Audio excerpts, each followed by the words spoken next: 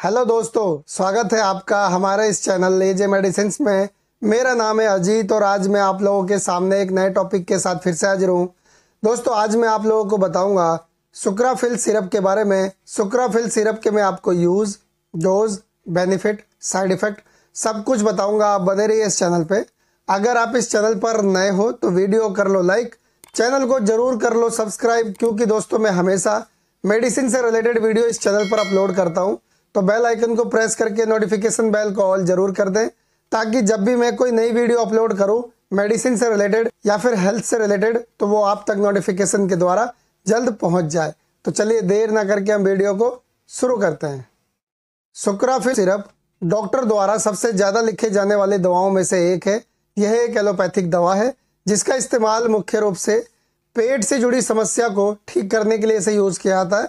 यानी कि अगर किसी के पेट में अल्सर है तो उसे ठीक करने के लिए इसे यूज़ किया जाता है। इसके अलावा भी, ये और भी कई पेट से जुड़ी प्रॉब्लम्स को ठीक करता है, जो मैं आगे आपको इस वीडियो में बताऊँगा। और ये भी बताऊँगा, इसे लेने का सही तरीका। साथ साथ हम ये भी जानेंगे कि नहीं इसका उपयोग नहीं करना चाहिए। ये सारी जानकारी आपको इस वीडियो में मिलेगी। तो आप लोग बने रहिए वीडियो में। फ़िलहाल मैं आपको दिखाता हूँ इसकी पैकेजिंग। आप स्क्रीन पर देख रहे होगे। सुक्राफिल सिरप यह 200 सौ की पैकिंग में आता है और इस 200 सौ की पैकिंग का जो प्राइस है वो है लगभग एक सौ यानी one hundred sixty six rupees only company इसे बनाती है। फोर्टिस इंडिया लेबोरेटरीज और कॉम्पोजिशन इसके अंदर होता है।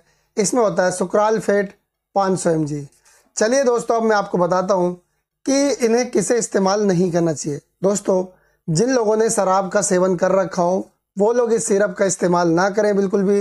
अगर वो करना चाहते हैं तो एक बार डॉक्टर से सलाह लें, उसके बाद इस्तेमाल करें, या फिर अगर डॉक्टर उन्हें देते हैं तो बेझिझक आप इस्तेमाल कर सकते हैं। छोटे बच्चों को, यानी कि एक से तीन साल के बच्चों को ये दवा बस ना दें। इस बात का भी आपको ध्यान रखना है। चलिए अब मैं आपको बताता हूँ, इससे क्या क्या फ़ायदे होते हैं, यानी कि ये किन किन प्रॉब्लम्स में बहुत ही ज़बरदस्त काम करता है। दोस्तों, ये सिरप अगर किसी के पेट में अल्सर है, उसे तो ठीक करता ही है साथ साथ ये किसी के पेट में बहुत ज़्यादा एसिडिटी बनती हो, खट्टी ढकार बहुत ज़्यादा आती हो, उसे भी ये ठीक करता है। या फिर किसी के पेट में बहुत ज़्यादा गैस बनने की वजह से सीने में, पेट में और गले में जलन होने लगता हो तो ऐसी कंडीशन में अगर इसे दिया जाए तो उसमें भी ये बहुत अच्छा काम करता है। साथ साथ ये कई लोगों को थोड़ी कॉन्स्टिपेशन की प्रॉब्लम होती है तो ये कॉन्स्टिपेशन को भी ठीक करता है, पेट को बिल्कुल स्मूथ रखता है, और ये साथ साथ ये जिन लोगों के आंतों में इन्फेक्शन हो गया हो तो आंतों के इन्फेक्शन को भी ये धीरे धीरे ठीक कर देता है। साथ साथ मैं आपको बताना चाहूँगा, जिन लोगों को पेट के गैस से ज़्यादा परेशानी रहती है, हमेशा वो परेशान रहते हैं, पेट फूला फूला महसूस होता है, कुछ भी खाने पीने का मन नहीं करता है तो ऐसी कंडीशन में इस सिरप का लेना बहुत ज़रूरी है, क्योंकि जब आप ये सिरप लेना शुरू करोगे तो ये आपकी सारी प्रॉब्लम ख़त्म हो जाएगी। तो दोस्तों, ये थे इसके बेनिफिट्स जिसमें ये सबसे ज़्यादा यूज़ होता है। अब मैं आपको बताता हूँ, इसे यूज़ कैसे करना होता है। दोस्तों, इस सिरप का इस्तेमाल 10 एम सुबह 10 एम दोपहर में और 10 एम रात को खाना खाने के बाद लेना होता है। खाना खाने के आपको एक घंटे बाद लेना है ताकि दवा बहुत अच्छी तरीके से काम करे। कई बार डॉक्टर इसे खाली पेट भी बताते हैं तो आप खाली पेट भी ले सकते हैं, लेकिन डॉक्टर कहें तो नहीं तो आप खाना खाने के एक घंटे बाद लें। बहुत ही अच्छा रिज़ल्ट इसका आएगा। और दोस्तों, अगर आप बच्चे को देना चाहते हो तो बच्चे की उम्र पाँच साल से तेरह साल के बीच होनी चाहिए।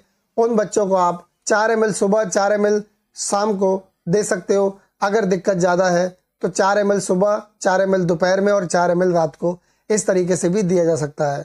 तो दोस्तों, इस तरीके से आप बच्चों में भी दे सकते हो। अब मैं आपको बताता हूँ इससे होने वाले साइड इफ़ेक्ट। जब आप इस सिरप को लेना शुरू करते हो और आपको उल्टी समन या उल्टी होने लगे तो समझ लीजिए आपको ये सूट नहीं हो रहा, या फिर आपके कॉन्स्टिपेशन की प्रॉब्लम यानी कब्ज की प्रॉब्लम बनी रहे या उससे ज़्यादा होने लगे तो भी आप समझ सकते हो कि आपको ये सूट नहीं हो रहा। या फिर आपको चक्कर आने लगे तो भी आप समझ सकते हो कि आपको सूट नहीं हो रहा। या फिर आपको नींद ना आए, नींद आने में प्रॉब्लम लगे, सो ना पाओ अगर आप सही से तो ऐसी कंडीशन में भी आप समझ सकते हो कि आपको ये सूट नहीं हो रहा है। और जब ये दवा सूट ना हो तो तुरंत आपको नज़दीकी डॉक्टर से मिलना चाहिए और कोई भी दवा यूज़ करने से पहले उसकी जानकारी आपके पास होनी चाहिए और साथ साथ आपको डॉक्टर से भी एक बार सलाह लेनी चाहिए। उसके बाद ही इस्तेमाल करना चाहिए। आई होप कि आपको ये वीडियो पसंद आई होगी। तो आज के लिए इतना ही।